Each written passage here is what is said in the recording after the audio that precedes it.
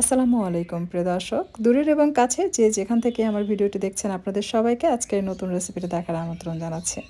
আমি রেশমা, বগুড়া থেকে আজকে আপনাদেরকে তৈরি করে দেখাচ্ছি বড়ইয়ের টক ঝাল মিষ্টি আচার। বানানো একদমই সহজ আর খেতে অনেক বেশি মজার। তৈরি করলে দেখবেন খুবই ভালো লাগবে। এটা ভাতের সাথে বা এমনি এমনিও খাওয়া যায়। আর আচার যেভাবে বানালে আচারটা অনেক দিন পর্যন্ত রেখে খাওয়া যাবে, নষ্ট হবে না। আচারের কালারটা সুন্দর আসবে এবং আচারের শাইনিং আসবে। এ বিষয়ে আমি ডিটেলস আপনাদের সাথে বিভিন্ন ধরনের টিপস শেয়ার করব, যেগুলো আপনারা ফলো করলে আপনাদের আচার অনেক সুন্দর হবে এবং অনেকদিন পর্যন্ত রেখে খেতে পারবেন, সহজে নষ্ট হবে না। তাই ফার্স্ট থেকে লাস্ট পর্যন্ত ভিডিওটা অবশ্যই দেখবেন স্কিপ করবেন না। এতে করে আচার বানানোর ক্ষেত্রে এই টিপসগুলো কিন্তু আপনাদের কাজে আসবে।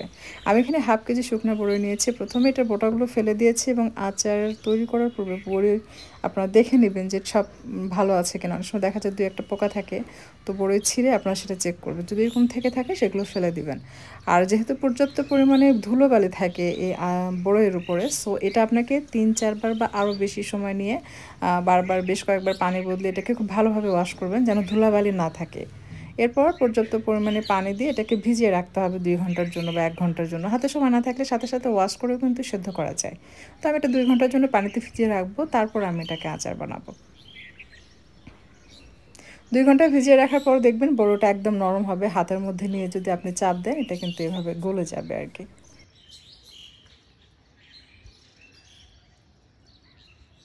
তবে যে কড়াই সেদ্ধ করবেন, সেটা পুরনো কড়াই নেওয়ার চেষ্টা করবেন। কারণ বড়ই টক জিনিস, এটা যদি আপনি স্টিলের পাত্রে সেদ্ধ করেন, সেক্ষেত্রে স্টিলের যে হাঁড়ি ব্যবহার করবেন, সেটা কিন্তু কালার ডিসকালার হয়ে যাবে বা নষ্ট হয়ে যায়।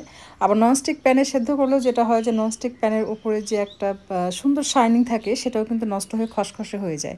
তাই যে কোনো দস্তার কড়াই বা পুরনো পাতিল, এই টাইপ কোনো কিছুতে আপনার বড়িটা সেদ্ধ করবেন। তাহলে পাতিল বা কড়াই কোনো কিছু নষ্ট হবে না, দেখতে পাচ্ছেন আমি একদম পুরনো কড়াইয়ে বড়িটা সেদ্ধ করছি। আর সাথে দিয়ে দিলাম হাফ চা চামচ হলুদের গুঁড়া এবং এক চা চামচ সমান করে লবণ। আর দিয়ে দিচ্ছি পানি। পরিমাণ মতো পানি দিয়ে বড়িটাকে সেদ্ধ করে নিতে হবে।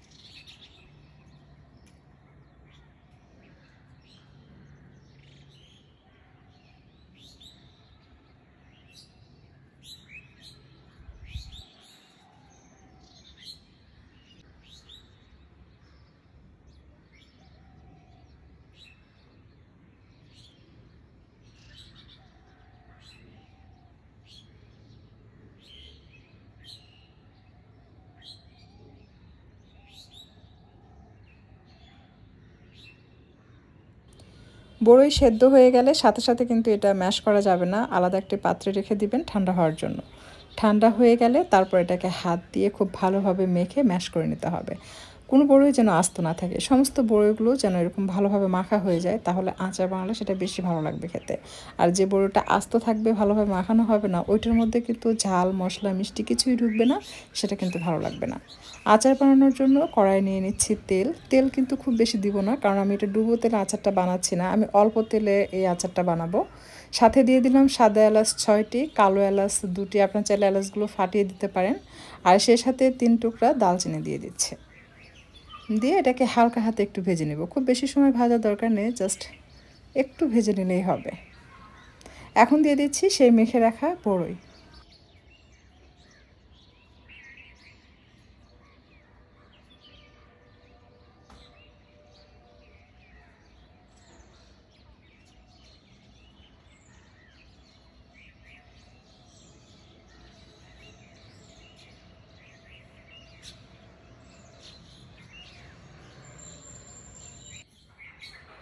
আচার, তেল, মশলার সাথে খুব ভালোভাবে মিক্স করা হয়ে গেলে এই পর্যায়ে অ্যাড করব চিলি ফ্লেক্স কেউ চাইলে প্রথমেই মরিচ দিতে পারেন, অর্থাৎ মরিচ চিড়ে ছোটো ছোটো টুকরা করে কেটে যখন গরম মশলা অ্যাড করেছে, ওই পর্যায়েও আপনারা মরিচ অ্যাড করতে পারেন যদি চিলি ফ্লেক্স না থাকে। আর যদি চিলি ফ্লেক্স থাকে, সেক্ষেত্রে ওই পর্যায়ে মরিচ না দিয়ে আপনারা এই পর্যায়ে মানে কিছুক্ষণ তেলের সাথে, মশলার সাথে আচারটাকে মিক্স করে নিয়ে আপনারা কিন্তু চিলি ফ্লেক্স দিতে পারেন। আসলে অনেকভাবে একটা আচার করা যায়, আমি দুটোই বলে দিলাম। আপনারা কে কীভাবে অ্যাড করবেন এটা আপনাদের উপর ডিপেন্ড করছে, তবে একই রকম টেস্ট আসবে। এখন দিয়ে দিচ্ছি চিনি। হাফ কেজি বড়োয়ের জন্য আমি এখানে চিনি ব্যবহার করব দুই কাপ। যেহেতু মিষ্টি আচার মানে টক মিষ্টি ঝাল সব কিছু থাকবে, হালকা একটু টক থাকবে, মিষ্টি মিষ্টি হবে, একটু স্পাইসি হবে।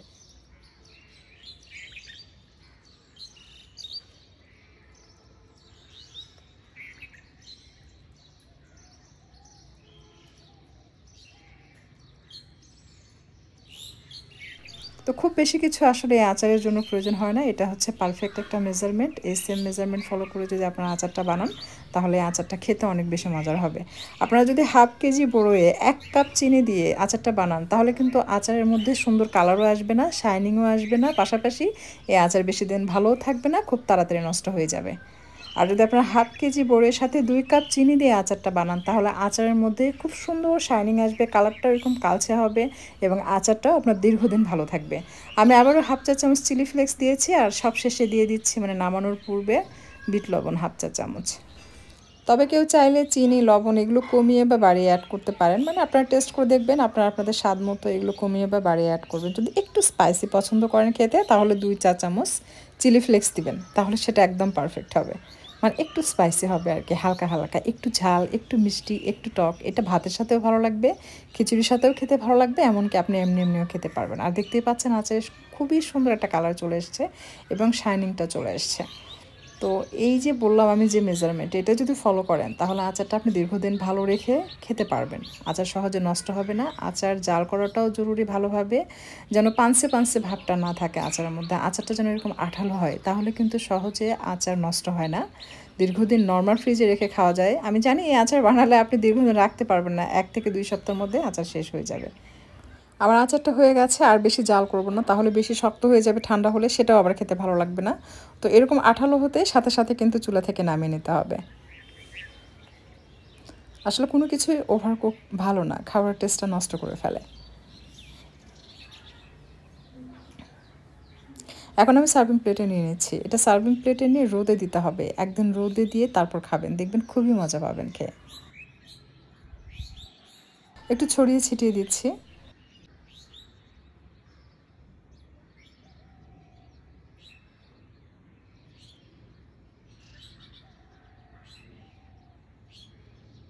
এখন এটার উপরে দেখার সৌন্দর্যের জন্য আমি সামান্য চিলি ফ্লেক্স দিয়ে দিচ্ছি।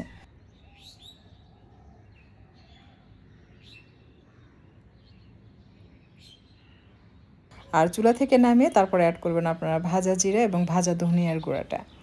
তো আমি এখন জিরা এবং ধনিয়া ভেজে নিচ্ছে। এটা খুব বেশি কড়া করে ভাজা যাবে না মিডিয়াম আছে মিডিয়াম ভেজে নেবেন। মানে নর্মাল আমরা যেরকম ভাজা জিরার গুঁড়া তরকারিতে খাই সেরকম কড়া না জাস্ট মিডিয়াম করবেন। তাহলে এটার যে সুঘ্রাণ সেটা খুব ভালো পাওয়া যায় এবং জিরা এবং ধনিয়ার যে একটা সুন্দর কালার সেটা ঠিক থাকে। আর বেশি পুড়ে ফেললে কিন্তু সেটা ভালো লাগবে না, সেটা তিতে তিতার মতো লাগবে। এটা ভাজা হয়ে গেছে, সাথে সাথে এটা অন্য একটি পাত্রে ট্রান্সফার করে আমাকে গুঁড়া করে নিতে হবে। বেশিক্ষণ যদি এই প্যানে রেখে দেয় তাহলে আবার পুড়ে যাবে। তো গুঁড়া করে আমি অ্যাড করেছি, এখন এটাকে জাস্ট মিক্স করে আমি রোদে দিব। একদিন রোদে দিয়ে তারপর এটা রোদ থেকে যখন আপনি নিয়ে খাবেন, তখন দেখবেন যে খুবই ভালো লাগবে। রোদে দেওয়ার পর আরও বেশি শাইনিং চলে আসবে আচারে। এবং আচারের স্বাদটাও কিন্তু বহুগুণে বেড়ে যায়। আশা করছি আজকের রেসিপি আপনাদের কাছে ভালো লেগেছে এবং সহজ মনে হয়েছে। যদি ভিডিওটি ভালো লাগে লাইক কমেন্ট শেয়ার করে চ্যানেলটি সাবস্ক্রাইব করে নিয়মিত চ্যানেলের সাথে থাকবেন, আশা করছি। ধন্যবাদ সবাইকে, ভিডিওটি দেখার জন্য বিদায় নিচ্ছে।